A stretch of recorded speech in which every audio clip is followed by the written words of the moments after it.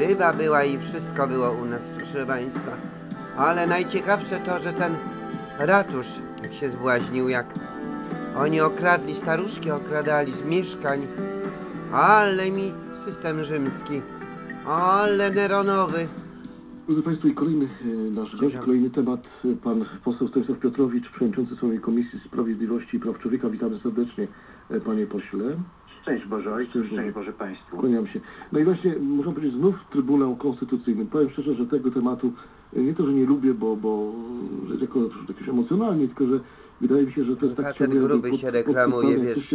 Zamiast pokazywać historyczne plansze, tą grubą komentować mordę pokazuje ciągle. No przecież to jest bez sensu.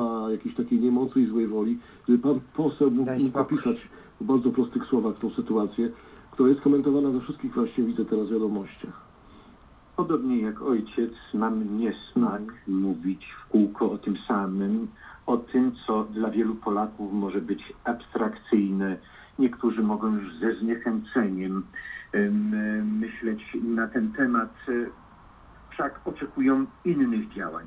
My podejmujemy wszelkie działania jako ugrupowanie rządzące, żeby realizować nasz program wyborczy. Ten program, który został zaakceptowany przez społeczeństwo i który mm, doprowadził nas do objęcia władzy w Polsce. Oczywiście. No. Natomiast Trybunał Konstytucyjny to jest ta instytucja, która dziś w rękach opozycji ma nam to uniemożliwić.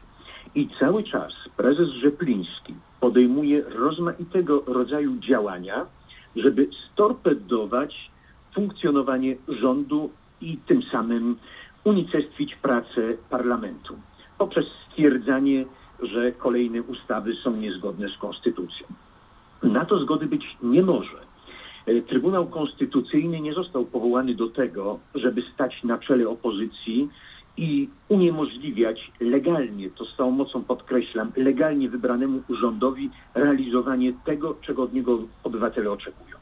I stąd ta walka o Trybunał Konstytucyjny. To nie o Trybunał Konstytucyjny w gruncie rzeczy chodzi, tylko chodzi o to, czy my będziemy mogli realizować wolę narodu wyrażoną w październiku, czy też przy pomocy Trybunału to zostanie nam uniemożliwione. I